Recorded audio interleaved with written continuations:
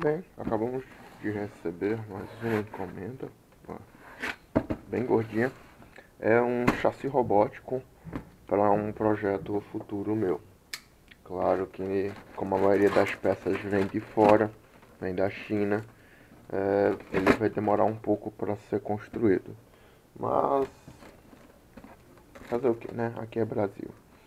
É, o chassi eu encontrei aqui no Brasil e é um chassi bem raro que é da Thunder, Real Thunder, se eu não me engano, que é um chassi em alumínio, tem um ótimo acabamento. E eu espero que ele seja um pouco maior do que na foto. Tecnicamente ele é bem pequeno. Aqui está. O chassi. A redução dele é de 34 para 1, então ele é mais rápido do que veloz. Tem uma, uma versão dele para 72. Vou tentar virar ele.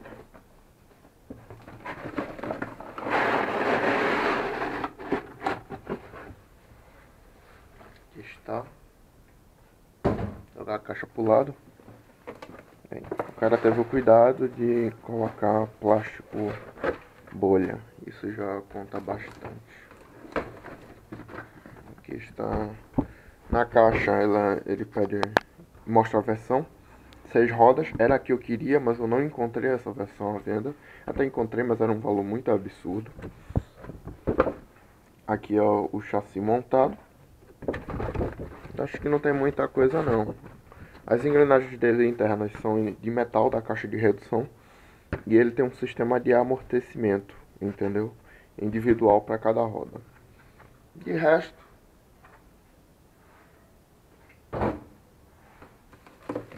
vamos abrir aqui. Tem alguns plásticos. Tenho que achar, dá para cortar na mão. Dá para arrancar na mão. Essa parte aqui.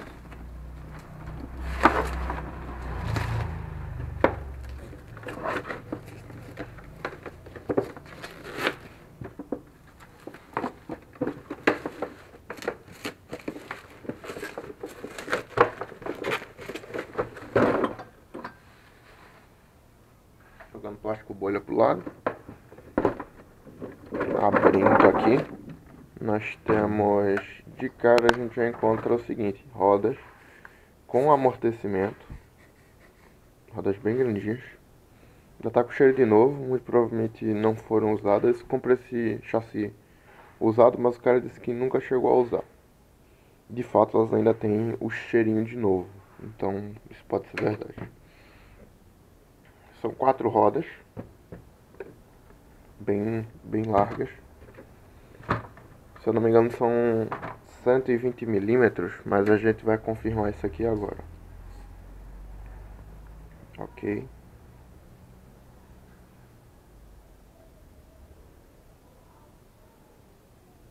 Ela tem, deixa eu ver se eu zerei o paquímetro. Não, eu esqueci de zerar o paquímetro. Pronto, agora vamos medir corretamente. Como eu tinha falado, aproximadamente 120, né? Deve ter pegado algum os sumos, enfim. Mas aproximadamente 120 milímetros cada roda.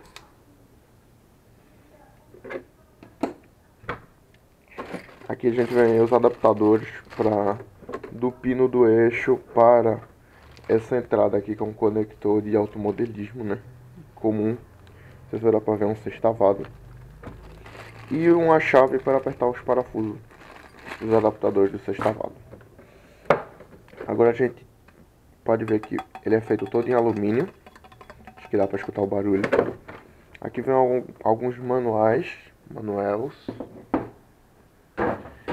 E bem, basicamente é isso. É um chassi bastante pequeno com amortecimento individual.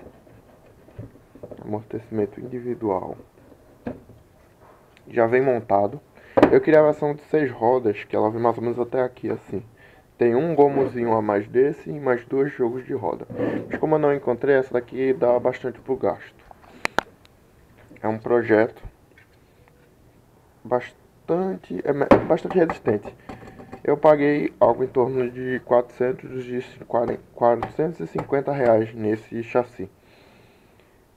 Existem algumas vantagens em utilizar ele em relação àquelas de esteira, por exemplo a velocidade, como vocês viram, a caixa de redução dele é apenas de 34 para 1.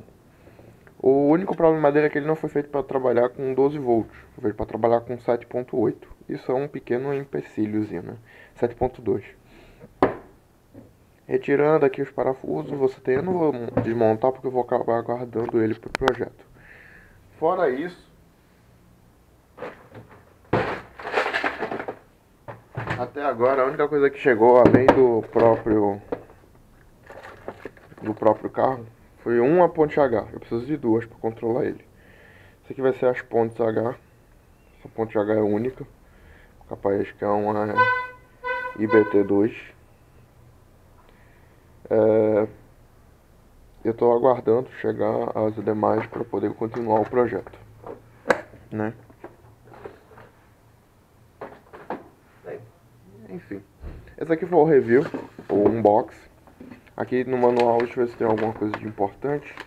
Então, para mostrar a desmontagem completa. Aqui ó, a versão de 6 eixos. Era essa que eu queria. Aqui só mostra a desmontagem, remontagem dele completamente. Ele já vem com um conector aqui, ó, uma barra Sindal, que é, é interessante para você conectar. Eu, até, eu tinha até um aqui sobrando, mas você conectar os fios da ponte H, os fios já vêm todos organizados na plate superior e ali tem toque frio, né? Por ser alumínio, mesmo pintado, ele transparece uma boa qualidade, uma ótima qualidade, para ser sincero. Como o peso dele fica todo sobre o eixo, ele não tem uma capacidade de carga tão, tão útil, né? Mas como rover, como explorador, ele é perfeito. Bem, enfim, se você gostou do vídeo, se inscreva. Se você não gostou do vídeo, dê um dislike. Porém, deixe nos comentários o que você acha que eu devo melhorar. E se você gostou, não se esqueça, like, like, like, like, like. E nos vemos no próximo vídeo, próximo unboxing ou um próximo review.